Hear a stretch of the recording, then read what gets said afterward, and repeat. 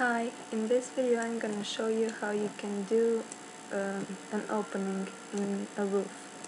For example, in these projects I've done this a number of times and I'm gonna show you how I did that. First of all, you're gonna go in your 2D views. You can do that by clicking F2 or just going here in the navigator and clicking on the story where you have your roofs visible. So, uh, in order to draw uh, an opening in the roof, you first have to select it. You click Shift and then select the walls the wall once it's once it's highlighted. So I'll do it again. I click Shift, it highlights the wall, and then I select it. Let's say I want to do another rectangle shape in this wall.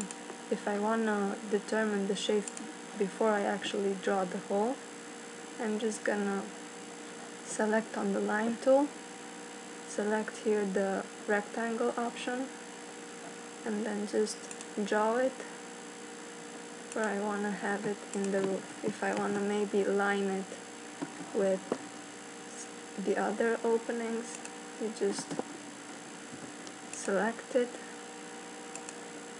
and then drag it down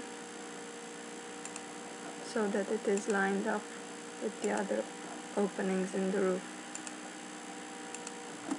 Okay, so once I have the shape determined, I select the roof by clicking shift and clicking on it. Then I select my roof tool here in the toolbox on the left. And then make sure you have your construction method rectangular selected in this case.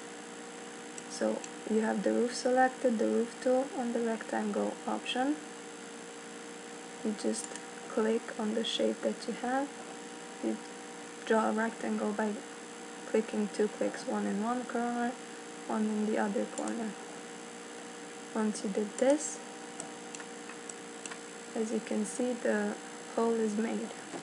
So let's go in our 3D views generic perspective. And as you can see the opening appeared in our roofs this is how I did all of the openings in this project.